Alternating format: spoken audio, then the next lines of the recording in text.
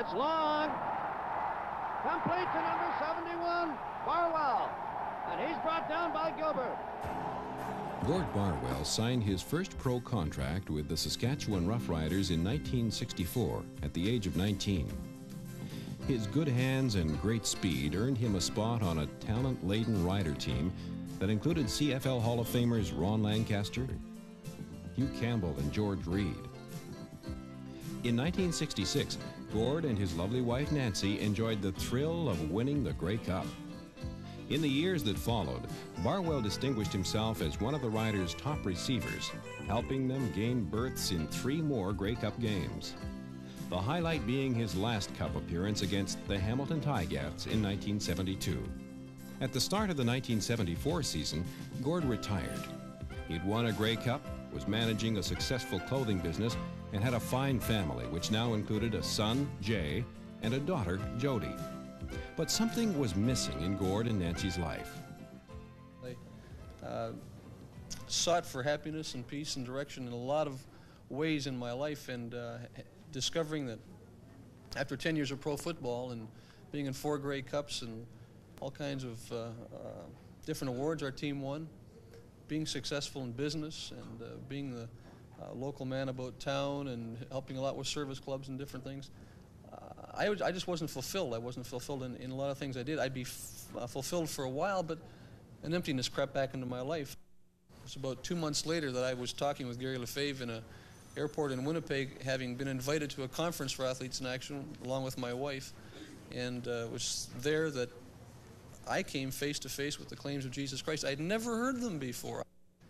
And down there, the man said, if there's a void in your life and you've been trying to fill it for years, you can fill it forever with Jesus Christ. He'll come into your life and give you life that's full and meaningful. And down there, David, I just simply bowed my head and I surrendered my will and I said, Lord Jesus, I believe that you're the living Son of God, and I'm sorry for the life I've lived. I've lived it apart from you. I want you to come into my life, take control of me, and change me. And almost nine years ago, that day, I know beyond a shadow of a doubt that the Lord heard my invitation and He came in and uh, he changed my life. He's completely revolutionized and changed my life. As Gord and Nancy grew in their faith, so did their desire to serve the Lord. In 1977, they left the business world to join the full time staff of Athletes in Action. As the Eastern AIA director and later the Canadian director of Athletes in Action, God used Gord to impact many lives for Jesus Christ. It's, it's been a pleasure for me to see. I've been a Christian 12 years now, but uh, for me, uh, to see almost 200 men and their wives come to know the Lord in Canada alone in the uh, in the last 12 years, and then to to uh, see them come into uh, discipleship programs, and then to stand up and be counted, whether it be at a, a breakfast, a banquet, a prison, or a high school assembly, and uh, it's listen. I've been involved in it full time since it started in Canada. And I would, I, I'm the happiest guy in the world. I'm doing exactly what I want to do, and I've got to work with a bunch of tremendous people in this ministry. Through chapel services and Bible studies with CFL players, Gord played a key role in both winning and building these men for Christ. Under Gord's direction, AIA built and entered a float in the 1978 Grey Cup Parade. The float featured Christians from each CFL team. In addition to the float, Gord was also instrumental in organizing AIA outreach breakfasts. Christian athletes shared their testimonies, while Gord often wove the program together with his masterful emceeing. Giving the athletes an opportunity to share their faith was an important part of Gord's job. As well as involving them at breakfasts and other speaking engagements, Gord and the pros traveled to numerous communities conducting evangelistic high school assemblies. Over the years, tens of thousands of high school students heard the gospel through these outreaches. You can't mention Gord Barwell without talking about his incredible sense of humor. Practical joker, king of the one-liner, clown. They all fit Gord. Uh, he would call me every now and then, about every two or three months, and uh, crazy sense of humor he had, and he'd call at me and say, hey, you still a Christian? The only thing I didn't like about Gordy was he had four words that uh, used to scare me he'd have, oh, by the way.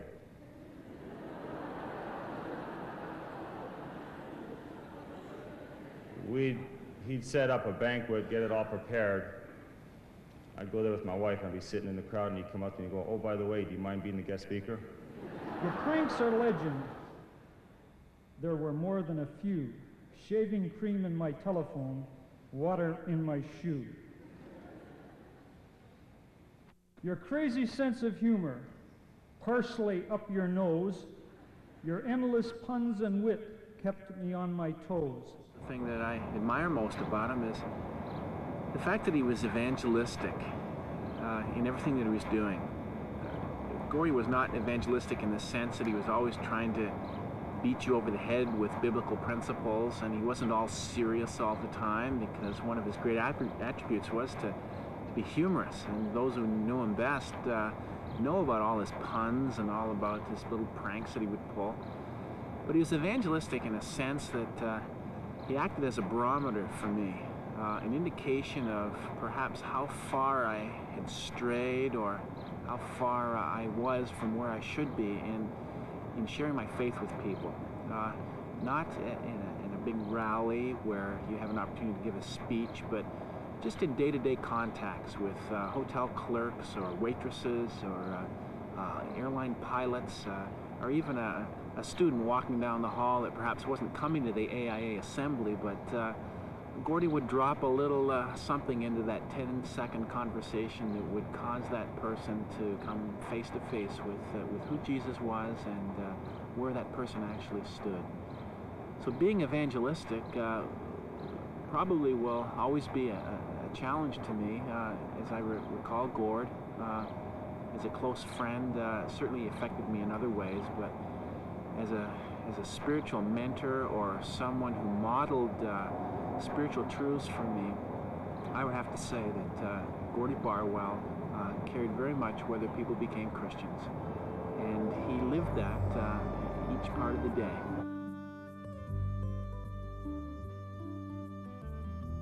The Apostle Paul, writing in the book of Romans, chapter 8, verses 38 and 39 says, For I am convinced that nothing can ever separate us from his love. Death can't and life can't the angels won't, and all the powers of hell itself cannot keep God's love away. Our fears for today, our worries about tomorrow, or where we are, high above the sky or in the deepest ocean, nothing will ever be able to separate us from the love of God demonstrated by our Lord Jesus Christ when he died for us. Uh, I love that scripture verse. I, I, recall reading that as a baby Christian and and thinking how great it would be to be so totally convinced as the Apostle Paul was that nothing would ever separate us from the love of God. To be so convinced to be so great. I've had a lot of people die in my lifetime, and it's ripped me apart. I had a sister who was 17 years old, died of Hodgkin's disease. At her funeral, a pastor of a strange church came up to me. He told me that my sister had prayed and received Christ shortly before she died. That meant nothing to me at the time. I said, oh, great until I became a Christian. And then I realized that I had a tremendous promise in the Word of God. My sister wasn't dead. She'd just gone to be with the Lord, and I was going to spend eternity with her because of what Jesus did for both of us. And I went running home with that news because my dad and my sister had been the closest of friends for years and years. And when my sister died, a big chunk of my father died. And I had to go to a sports banquet from up way up past Saskatoon. I picked that up, and for two and a half hours up and two and a half hours back, I told him all about the Lord and that Faye knew the Lord and all this good news. You know, my dad never argued a minute with me. Matter of fact, he kind of enjoyed what he heard. And over the course of the next year, year and a half, uh, we talked many times, gave Dad many things to think about. And one night, got a phone call, Dad had had a stroke. We rushed home from Regina to Saskatoon, and we got there, and all the way praying, God, let Dad be alive when we get there. And he was but he was a, he was a vegetable. It was tough for me to see my father lying there in that condition. And shortly thereafter, Dad died.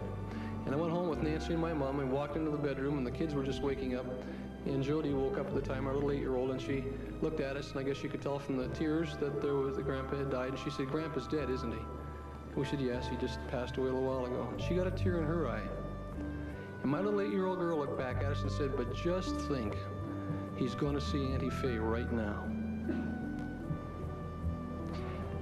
I got a lump in my throat that was so big I couldn't swallow.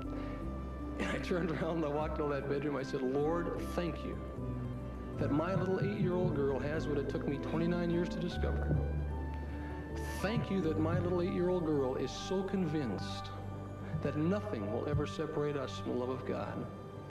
And ladies and gentlemen, in the world we live in today, wouldn't it be great to be convinced?